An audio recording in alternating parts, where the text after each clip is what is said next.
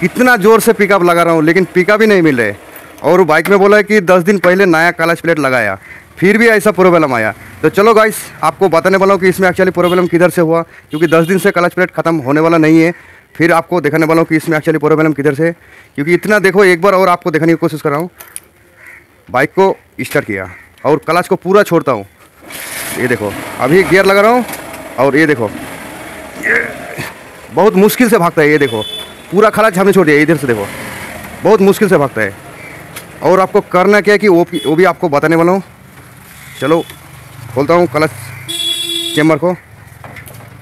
ये जो clutch chamber है, इसी को खोल लेता हूँ और आपको दिखाने वाला हूँ कि इसमें एक्चुअली प्रॉब्लम किधर से है। क्लच चेम्बर को हमने खोल दिया है इसका मोबिल देख सकते हो। पूरा जल गया है। कितना कालापन हुआ। और इधर से नाट को खोल लेता हूँ। और इसमें नया क्लच प्लेट दस दिन पहले लगाया था, और ऐसा प्रॉब्लम क्यों आया? हमने इधर से खोल दिया इसका पीछे पीछे एक औरसल रहता है, ये रहा। औरसल को रख देता हूँ। देखता हूँ एक क्लच प्लेट के अंदर क्या हुआ, क्योंकि कोई भी बाइक का दस दिन से क्लच प्लेट जाने वाला नहीं है। इधर से थोड़ा लाइनिंग आया, और देखता हूँ क्लच प्लेट और प्रेशर प्लेट किस तरह लगाया था। ये रहा। Clutch pressure plate clutch plate pressure plate clutch plate. और ये रहा, गाइस। इसी में सारा खेल उल्टा किया कस्टमर ने। कस्टमर ने नहीं गैरेज वाला ने। क्योंकि ये प्रेशर प्लेट को उल्टा लगाया था। और ये हाँ इधर से लाइनिंग आ गया। और इसका वजह से इधर से जो क्लच प्लेट है, ये थोड़ा सा डैमेज हुआ है।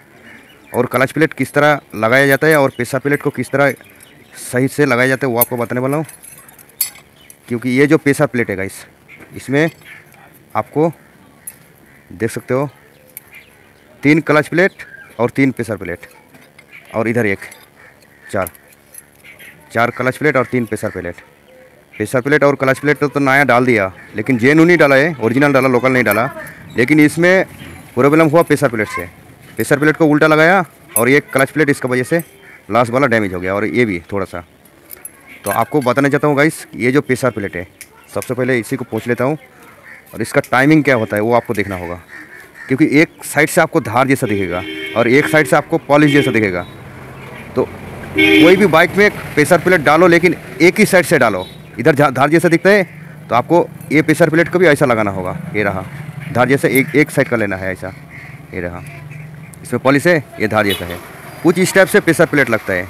अगर चाहे आप ऐसे भी लगा सकते हो, चाहे ऐसे भी लगा सकते हो।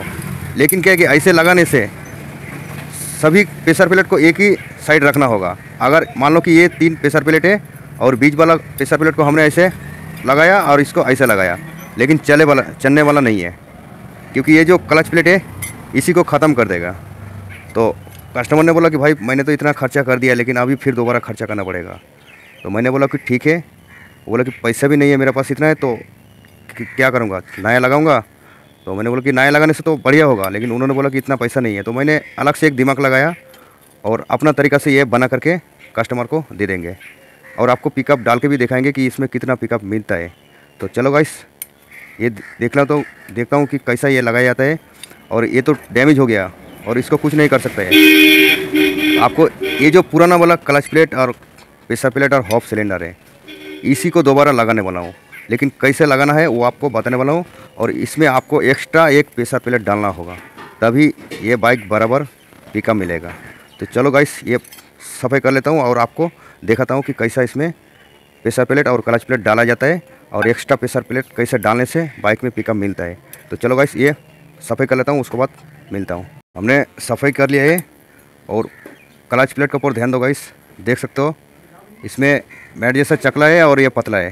तो आपको इसी को मिला करके लगाना होगा, इसमें प्रेशर जो क्लच प्लेट है, अगर ये मिला करके नहीं लगाएगा तो नहीं चलेगा, फिर भी जैसे का वैसा होएगा। तो इसमें जो धार जैसा ज़्यादा दिखता है, सबसे पहले आपको क्लच प्लेट को नीचे रखना होगा। ये देखो, इसमें एक में घिसौट आया और ये रहा हमने क्लच प्लेट को नीचे डाला। और तीन क्लच प्लेट अभी है और प्रेशर प्लेट है। और प्रेशर प्लेट को हमने एक साइड कर लिया है, क्योंकि इधर धार जैसा दिखता है। तो हमने धार जैसे को ऐसे लगा दिया। और इसमें एक चीज़ आपको बताने वाला हूँ इस ये बहुत इंपॉर्टेंट चीज़ है। हमने इसमें प्रेशर प्लेट डाला, पहले क्लच प्लेट उसके बाद प्रेशर प्लेट। और इसमें दो और भी प्रेशर प्लेट है। लेकिन इसमें एक अलग से प्रेशर प्लेट हमने डालेंगे। हमने एक अलग से प्रेशर प्लेट लिया और प्लस प्रेशर प्लेट का ऊपर ही प्रेशर प्लेट हमने अलग से डाला। क्योंकि ऐसा अपना दिमाग लगा रहा हूँ और देखता हूँ कि इसमें कितना पिका मिलता है। हमने एक ही जगह पे दो प्रेशर प्लेट को डाल दिया इस और इसमें एक क्लच प्लेट डाला और एक प्रेशर प्लेट। देख सकते हो? अगर आप बताएँगे कि भाई दो प्रेशर प्लेट क्यों डाला इसमें तो वो भी आपको आगे जाके बताने वाला हूँ। देखो, हमने इसमें दो प्रेशर प्लेट क्यों डाला? ये रहा हमने इधर से क्लच प्लेट और प्रेशर प्लेट डाल दिया। इसमें दो प्रेशर प्लेट क्यों डाला गाइस? क्योंकि दो प्रेशर प्लेट डालने से भी इतना खाली रहता है। अगर एक एक करके डाल देता था, लेकिन इसमें क्या है कि इससे भी खाली रहता था। लेकिन हमने दो प्रेशर प्लेट डाला और कुछ स्टेप से हमने टाइमिंग मिला करके लगा दिया। देखो, और परफेक्टली ये बैठ चुका है, और एक क्लच प्लेट आपका इसका बाहर रहेगा, और दो प्रेशर प्लेट इसका नीचे रहेगा, और तीन क्लच प्लेट इसका नीचे और दो क्लच प्रेशर प्लेट तो चलो, हमने ये फिट कर लेता हूँ और देखता हूँ कि इसमें कितना पिकअप मिलता है। एक चीज़ और आपका साथ शेयर करने वाला हूँ गाइस ये बहुत इंपॉर्टेंट चीज़ है। अगर ये चीज़ को ध्यान में रखे आप, इंजिल का काम करेगा तो परफेक्टली काम सही होगा। तो एक चीज़ आपको बताने वाला हूँ, ज़रा नज़दीक में लेकर आओ। ये जो क्लच प्लेट रहा इस अगर ये क्लच प्लेट इतना अंदर रहेगा तो बाइक में पीका भी नहीं मिलेगा। जैसे कि मान लो कि ये क्लच प्लेट को हमने साइड में रखा देखो, थोड़ा बाहर साइड है ना मतलब इसका लेवल आना चाहिए। और इससे अगर अंदर चला जाएगा तो आप चाहे जितना भी क्लच प्लेट, प्रेशर प्लेट नया डालो, हॉक सिलेंडर नया डालो, काम होने वाला नहीं है। तो ये चीज़ को आपको ध्यान रखना होगा। तभी क्लच प्लेट डालने के बाद बाइक बराबर चलेगा। आठ दस दिन में ख़त्म नहीं होगा। क्योंकि आठ दस दिन में क्लच प्लेट ख़त्म होता है दोस्त, ये मेरे को बताओ। तो चलो हमने एक अलग से दिमाग लगाया और प्रेशर प्लेट को हमने ज़रा नज़दीक करो। ये जो क्लच प्लेट रहा, इसका बाद ही हमने दो प्रेशर प्लेट को एक ही साथ में डाला, ताकि ये, इसका गैप बराबर रहे।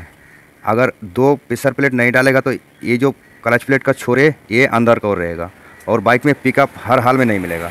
तो हमने कुछ स्टेप से लगा दिया और एक कवर को हमने चेम्बर को लगा लेता हूँ और आपको स्टार्ट मार के बिल्कुल पिकअप लगा करके आपको दिखाने वाला हूँ।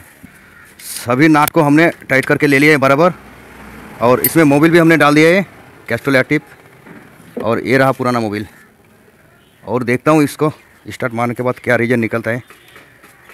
चाबी को ऑन कर लेता हूँ। और बाइक को सबसे पहले नीचे कर लेता हूँ और देखता हूँ कितना भागता है। क्योंकि पहले क्या हो रहा था तो पिकअप मारने से गाड़ी आगे का और नहीं जाता था। लेकिन अभी हमने स्टार्ट कर दिया है और गियर लगा रहा हूँ। क्या क्या?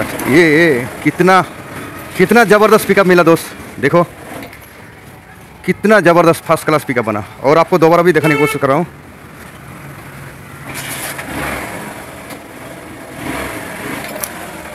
कितना झटका मारा। हमने एक अलग से दिमाग लगाया, क्योंकि गाइस इससे पहले भी मैंने हुंडा साइन बाइक में ऐसा दिमाग लगा करके कम से कम एक साल भर कस्टमर बाइक बिल्कुल फ़र्स्ट क्लास चलाया। तो हमने प्रेशर प्लेट को डबल क्यों डाला? क्लच प्लेट अगर डबल डाल देगा तो नहीं चलेगा, क्योंकि एक गियर लगाने से उसमें दो गियर एक साथ में लगेगा। आपको सिर्फ़ और सिर्फ़ प्रेशर प्लेट को ही डबल लगाना होगा, एक ही साथ में। हमने इसमें चार क्लच प्लेट और चार प्रेशर प्लेट लगाया। लेकिन चार प्रेशर प्लेट कैसे लगाया? एक जगह पे दो प्रेशर प्लेट को एक ही साथ में लगाया। और आपने तो पूरा वीडियो देखा कैसे हमने सेटिंग किया। अगर आपका पास कुछ इस प्रकार से कि भाई मैंने क्लच प्लेट लगाया और 10-15 दिन में क्लच प्लेट ख़त्म हो गया। अगर ऐसा प्रॉब्लम आएगा तो आपको ये चीज़ को करना होगा। तो मेरा वीडियो कैसा लगा गाइस इसी तरह टेक्निकल वीडियो लाता रहूँगा गाइस मेरा वीडियो अच्छा लगे लाइक करो शेयर करो। और जो भाई वीडियो में पहली बार आया है, सब्सक्राइब करो। मिलता हूँ किसी और वीडियो के साथ। तब तक के लिए थैंक यू